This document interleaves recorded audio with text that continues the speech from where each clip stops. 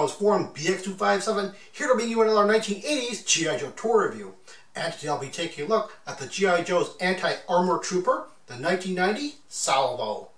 Salvo makes his first comic book appearance in the old Marvel comic run of G.I. Joe in issue number 114, and makes his first cartoon appearance in the DiC animated 1990 season 1 episode titled United We Stand. Before I get to the figure, I'd like to take a look at the file card first.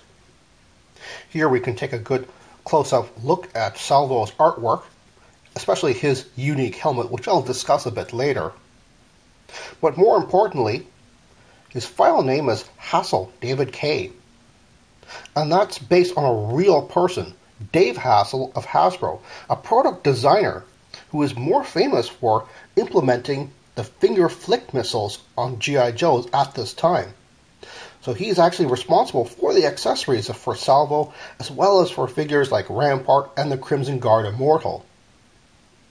And one other thing that's very interesting is that uh, this guy has kind of a contrary personality here, as he has a distrust for high-tech weapons, and yet his secondary military specialty is a wire-guided missile technician that's a pretty that's a pretty complex missile system actually.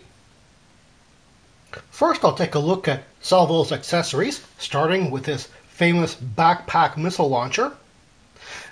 I'm just going to point out that he is not actually holding a grip, but holding the stock above it, as the hand on my figure is a little bit open, so it doesn't really grip the actual thinner grip portion uh, as well as it really should.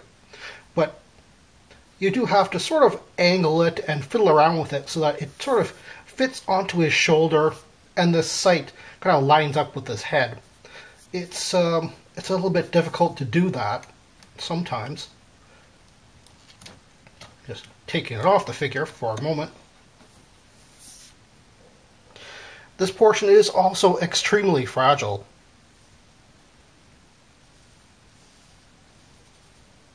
Taking a good look around it.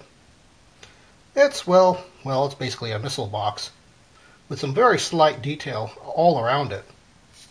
But on one end you can see it does have a backpack peg. And it fits on the figure just like that. With the uh, missiles facing upwards.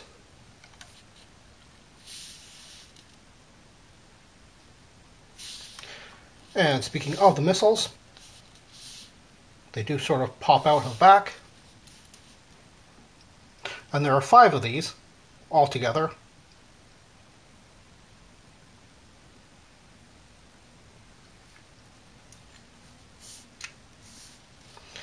And with them popping out of the back, this thing has an unadvertised feature of being flick missiles. You can actually flick most of them out, and they're actually kind of loose, at least on mine. I don't think Salvo's backpack missile launcher is exactly based on a real world man portable device. It does, however, share characteristics with the four tube M202A1 with its boxy construction and small, simple eyepiece. This device was made famous by Arnold Schwarzenegger in the movie Commando. Even the missiles are similar to the M74 rocket, one of the optional munitions for the M202A1. Next, we have his mine launcher, which I have positioned sort of underslung as it is on the artwork. You can actually uh, turn it around and it doesn't look so bad the other way.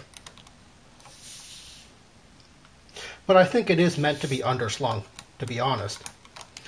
This, I don't think, is based on any real-world uh, military device. And as you can see, there are five of these removable mine pucks.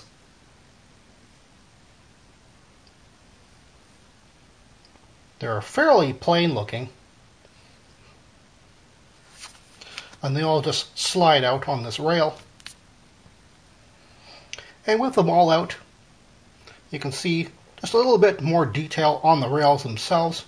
Very interesting. They didn't really have to do that. But one very interesting thing about the not only the mine launcher but the artwork itself is that it does show that this thing is a barrel, with these things probably being shells. But as you can see, the shells are almost completely exposed, almost like a clip. So this might in fact be a 40 millimeter grenade launcher rather than some type of uh, firearm. Next we have what the contents list on the card calls a cache. Basically a big black briefcase. It's well detailed. Unfortunately, I don't know what it's a cache of because it doesn't open. Unlike the 1983 Destro's attache case or the 1986 Lifelines medic bag or even Bullhorn's rifle bag from the same year even, this thing just doesn't open to reveal what secrets it holds. And last but not least, Salvo comes with a removable helmet, which is quite interesting in a few regards.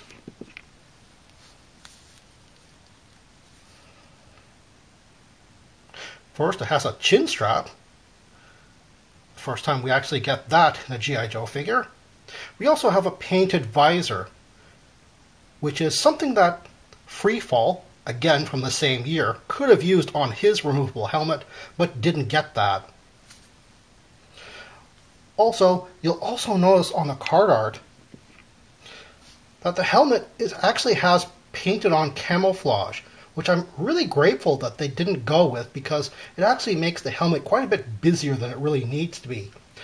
One interesting thing to do when he's wearing his backpack is to make use of the outward stretched handle. So you can either put his helmet on there, just kind of store it on there, or you can even put the attache case on there as well. Like some type of bizarre coat rack. Without all those accessories, and they are very unique accessories and uh, very relatable to this one particular character, you would think that he would be kind of plain and boring because all he's doing is wearing a t-shirt and some slacks. You can't even really see his boots. And yet, it actually kind of works for him. Hasbro actually made the slight details very distinctive to him. So he has that the right of might written right on his chest. I mean, it's not even like a typeset thing. It's just sort of scrawled on there, handwritten, like it's made out of chalk. And while I would almost argue that that sort of that sort of try-hardy thing, which I generally don't like, it actually works for this character. And then there's these ammo belts just wrapped around his legs.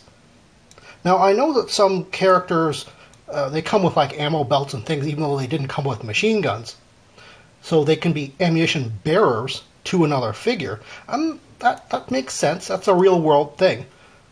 But I'm not quite sure that you would wrap them around so distinctively around each leg like this, unless you actually were supposed to have come with a machine gun, which he clearly didn't.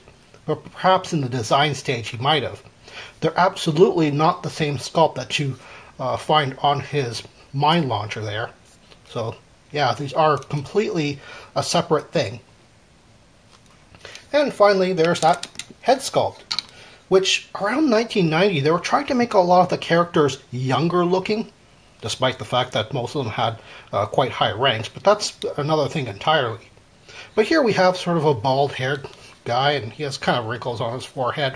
Again, I think that's why I sort of buy this whole sort of aggressive logo on his t shirt, because honestly, he looks the business, really. When I first saw him, all I can think of was how much he looks like Richard Machowicz of Future Weapons, which is very appropriate. On the toy shelves, Salvo took over from the 1987 Fast Draw as the team's anti armor specialist, although Fast Draw's open missiles could also be used for aircraft as well. And before that, we had the 1985 Bazooka. And before him, we have the 1982 and 83 Zap. So, a team's anti-armor specialist is something that is very crucial to the G.I. Joe team if they have so many of them. I think you may already know who I would choose as Salvo's opposite number on the bad guy side. That would be the Iron Grenadiers 1990 Metalhead. Of course, he is an Iron Grenadier and not a Cobra, but they did face off against each other in the comic books. However, if you want to take a look at a Cobra, a Cobra Trooper, in fact, and not an individual, the 1989 Heat Viper from just one year before is a perfect match.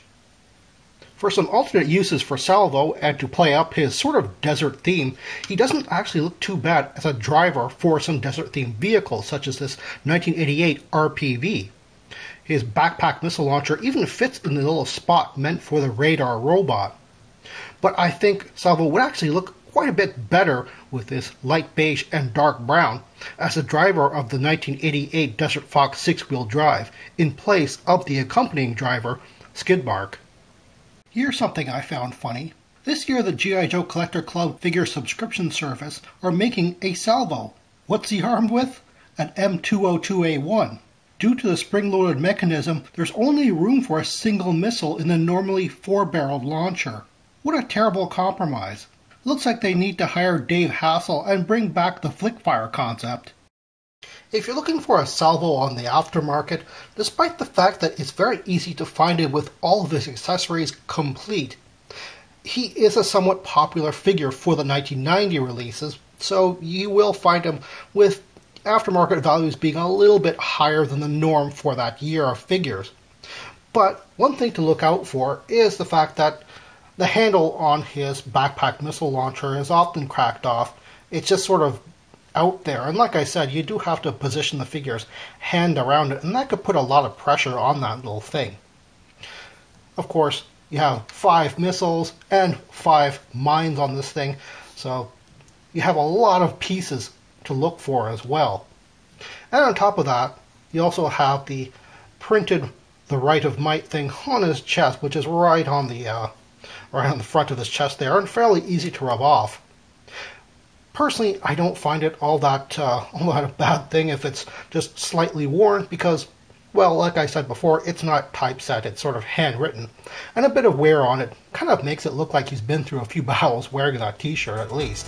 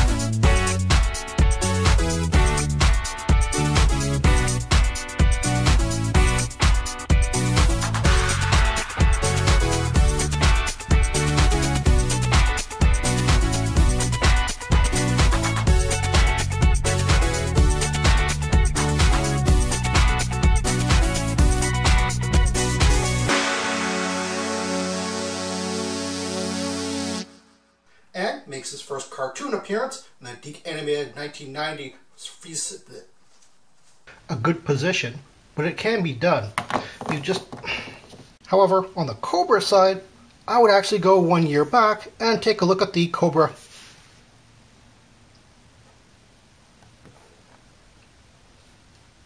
Well, that's all the time I have right now. Please check out my Facebook page for more information and behind the scenes photos for these reviews. Thank you for watching this video, and stay tuned for next time to see another 1980s G.I. Joe toy review. See you then.